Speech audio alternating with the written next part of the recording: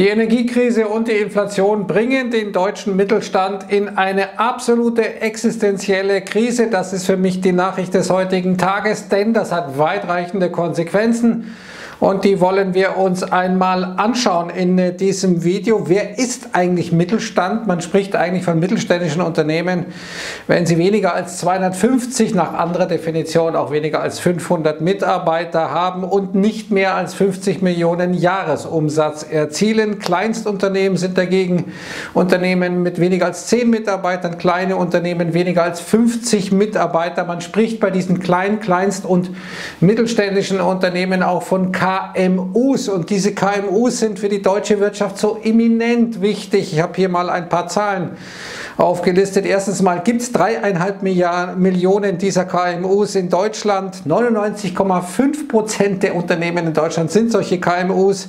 Die sorgen für über 97 Prozent der deutschen Exporte, Schrauben, irgendwelche Dinge, die da exportiert werden. Nischenplayer, deutscher Mittelstand ist da ja richtig gut gewesen in den letzten Jahrzehnten. 58 Prozent aller sozialversicherungspflichtigen Jobs äh, sind aus KMUs. 81,7 Prozent der ausgebildeten Lehrlinge kommen aus diesen KMUs und, und, und. Die sind also so zentral für die deutsche Wirtschaft.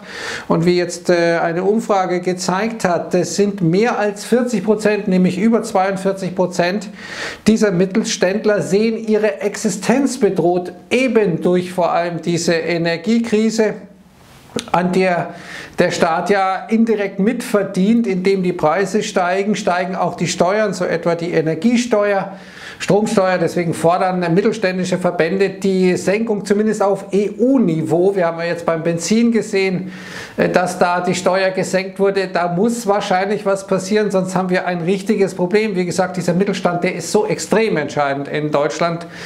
Innovationstreiber, das sind sehr bewegliche Unternehmen, meistens Familienunternehmen, während sie in Konzernen Wer da schon mal gearbeitet hat, weiß, der ist äh, eigentlich 90 Prozent aller Zeiten im Meeting, wenn er da irgendwie im Management ist. Äh, gearbeitet wird da äh, an sich nicht mehr so richtig viel, also zumindest nicht wirklich direkt der Schalter umgelegt. Und jetzt hat mein was dritt- oder viertbester Freund, ich weiß es nicht mehr, Marcello Fraccerino davor gewarnt, dass äh, dieser Ukraine-Krieg und die Folgen mindestens drei Prozent des Wachstums diesen Jahres kosten wird für die deutsche Wirtschaft und dass das Ganze noch jahrelang äh, sich ähm, hinschleifen wird, dass also die Folgewirkungen nicht jetzt dann schnell vorbei sein werden. Und Sie wissen, Marcello Fraccerino ist für mich der absolute Gott. Was der sagte, das ist richtig, aber da hat er wohl einen Punkt.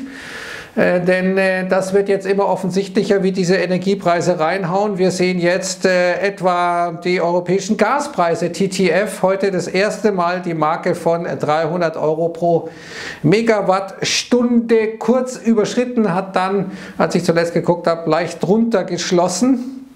Wir sehen, dass auch die Strompreise weiter gestiegen sind. Jetzt haben wir etwa die Meldung von Ford, diesem amerikanischen Autokonzern. Der wollte eigentlich ähm, in Spanien in äh, seine Niederlassung, in sein Werk da investieren, hat aber dann gesagt, naja, die Aussichten für die europäische Wirtschaft haben sich massiv verschlechtert, das lassen wir mal besser. Und das ist für mich so ein ähm, Mantra, ist für mich äh, ein Omen, dass da die Ausländer beginnen sich zurückzuziehen. Wir sehen hier etwa Deutsche Aluhütte, damit ist gemeint Spira, die hier auch im Hamburger Hafen eine Niederlassung haben. Äh, die vor allem Aluminium-Weiterverarbeitungen äh, machen, die sind äh, jetzt wohl davor, im September wird das beschlossen, wie Bloomberg berichtet hier, die Produktion auf 50 Prozent des bisherigen Niveaus zu kürzen. Das bedeutet, dass immer weniger dieses Aluminiums auf den Markt kommt. Das gilt nicht nur für Aluminium, das gilt für so viele Bereiche, die energieintensiv sind, wo dann eben die Erzeuger sich sagen, naja, das kann ich mir schlichtweg nicht mehr leisten. Was wird das bedeuten? Wir haben immer weniger Angebot, dann müsste die Nachfrage schon rapide fallen und Aluminium ist extrem wichtig, ist in sehr vielen Bereichen wirklich zentral. Das heißt, wir haben eine dauerhaft hohe Inflation, weil die Güterknappheit zunimmt. Wahrscheinlich schneller nimmt diese Güterknappheit zu, als die Nachfrage nachlässt. Das ist das große Problem. Jetzt hat auch übrigens äh, die IHK gesagt, dass die Exporteure, die weitgehend ja aus dem Mittelstand stammen, 97 Prozent der Exporte Deutschlands kommen aus mittelständischen Unternehmen, sind in extremer Kostenklemme, haben eine Belastung von 70 Milliarden Euro nur in diesem Jahr. Also es rumpelt, es macht Bums. Das äh, ist eine wirkliche Krise und nicht nur irgendwie so dahingesagt. Jörg Kremer, Chefvolkswirt der Commerzbank, sagt ja, sagt sich ja leicht, äh, dass wir einen Angebotsschock haben, aber schauen wir mal etwa aus seiner Siegerländerheimat. Kleines Beispiel, das aber sprechend ist, äh, da hat etwa der Hersteller von Schulmilch, also Milch, die in der Schule getrunken wird, jetzt seine Produktion eingestellt, äh, aufgehört, weil er sagt, es bringt nichts mehr, es lohnt sich nicht mehr, ich kann die Preise gar nicht durchsetzen, die ich holen müsste, die ich nehmen müsste, um äh, hier überhaupt noch wettbewerbsfähig zu sein. Jetzt ist das eine äh, die gestiegenen Kosten für die Unternehmen durch Gas, Strom vor allem, die Erzeugerpreise ja plus 37,2 Prozent bei deutschen Unternehmen. Äh, jetzt ist die Frage, was passiert denn mit den Löhnen? Denn das ist jetzt die zweite große Problematik für deutsche Unternehmen. Auf der einen Seite steigen die Kosten, auf der anderen Seite wollen die Mitarbeiter höhere Löhne haben und auf der dritten Seite sind die Konsumenten, also diejenigen, die die Produkte des Mittelstands kaufen, die verlieren permanent an Kaufkraft, weil die Löhne nicht schnell genug steigen. Kommt jetzt die Lohnpreisspirale, mein dritt- oder viertbester Freund Marcello Fraccerino sagt, nein, nein, da soll man überhaupt keine Sorge haben. Aber wir haben jetzt gesehen, im Hamburger Hafen etwa, die haben mal schlank ab äh, 1. Juli 9,4% Lohnsteigerungen vereinbart, ist dann teilweise auch äh, gekoppelt an die Inflationsrate. Aber wir sehen, das beginnt jetzt schon. Die sind an einem neuralgischen Punkt, diese Hafenarbeiter. Also da sieht man, äh, das äh, ist äh, eine Schleife, die sich hier aufspult. Und heute hat ja die deutsche Bundesregierung bekannt gegeben, dass man jetzt etwa Beleuchtungen von Denkmälern nachts äh, nicht mehr machen wird ab bestimmten Uhrzeiten äh, dass man zum Beispiel auch Kohle privilegieren wird im Bahnverkehr. Das heißt, wenn da keine Kapazitäten sind, dann werden nicht Personen befördert, sondern Kohle und hier dann auch äh, Habeck etwa das dauerhafte Offenhalten von Ladentüren und Eingangssystemen in Geschäftsräumen des Einzelhandels ist untersagt und nur ausnahmsweise in Fällen gestattet, in denen das Offenhalten für die Funktion des Einganges als Notausgang oder Fluchtweg erforderlich ist. Also äh, muss man den Leuten das sagen? Das sind Gewerbetreibende, die wissen, äh, was sie hier mit ihren Kosten tun müssen. Die werden doch nicht freiwillig irgendwie die Energie verpulvern und die Fenster und Türen aufmachen, wenn sie es nicht wirklich müssen. Also da sehen wir so einen Dirigismus, so einen staatlichen Eingriff, der mich wirklich fassungslos hinterlässt, als wären die Leute dann nicht in der Lage, das zu beurteilen. Kommen wir nochmal zum Gas. Wir sehen, dass aktuell Deutschland so viel Gas importiert wie never ever before. Deswegen steigen ja die Gasspeicher jetzt über 80 Prozent. Das natürlich zu horrendesten Preisen, die hier gezahlt werden. Und weil die Energiepreise steigen, weil die Inflation weiter aus dem Ruder läuft, muss die EZB, die lange, lange, viel zu lange geschlafen getroffen hat, jetzt wohl reagieren. Jetzt sehen wir, äh, dass äh, die Märkte einpreisen, dass äh, bis Dezember die ähm, Zinsen hier bis 1,25 Prozent steigen werden. Derzeit sind wir ja bei 0,5 Prozent, nachdem die EZB es zuletzt ja geschafft hat, mal die Zinsen anzuheben. Man preist sogar bis Oktober jetzt noch mal einen ganzen Zinsschritt ein, zumindest die Futures. Mal sehen, wie es kommen wird. Aber natürlich, die Fed hat ja große Zinsanhebungen gemacht. Das sorgt für Druck auch auf die EZB. Der Euro ja nach wie vor unter der Parität. Wie geht es denn jetzt weiter mit den Gaspreisen? In Amerika, in den USA, fällt der Preis für Erdgas, nachdem diese Anlage in Freeport später an den Start gehen wird. Die Amerikaner scheinen, äh, könnte man sagen, von den Russen gelernt zu haben. Gell? Äh, die beeilen sich jetzt auch nicht so stark mit den Reparaturen, mit der Folge, dass in den USA die Preise für Erdgas fallen.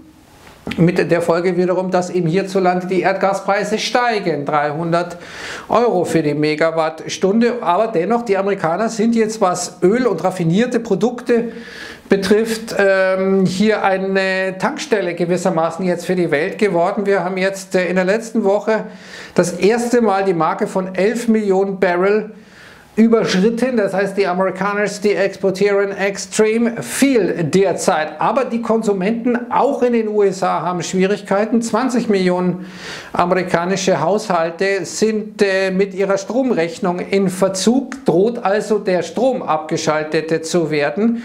Äh, das ist ein sprunghafter Anstieg, weil eben auch die Kosten dort für Elektrizität deutlich gestiegen sind. Der Finanzchef von Macy's hat gesagt, naja, negative Reallöhne, also Löhne, die langsamer steigen als die Inflation.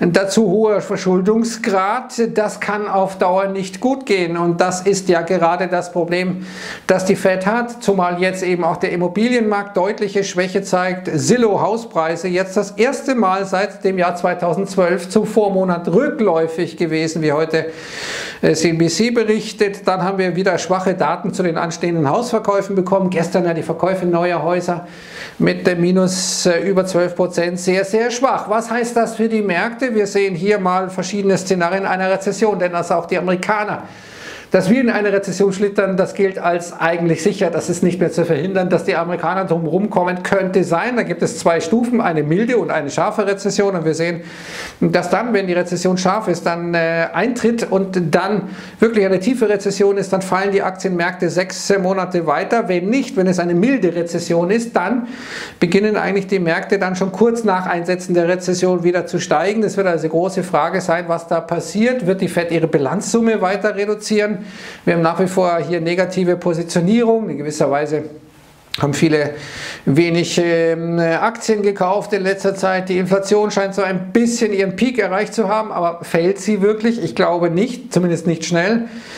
Und äh, wir haben auf der anderen Seite eben auch die Wahrscheinlichkeit einer Rezession. Wir haben wahrscheinlich viel zu hohe Gewinnerwartungen für die Unternehmen. Also es gibt Pros und Kontras derzeit für die Aktienmärkte. Heute geht es nach oben, aber die Muster sehen schon ein bisschen so aus wie damals im Jahr 2008 Finanzkrise. Auch damals hatte der S&P 500 die 200-Tage-Linie kurzfristig mal überschritten, diesmal ja auch.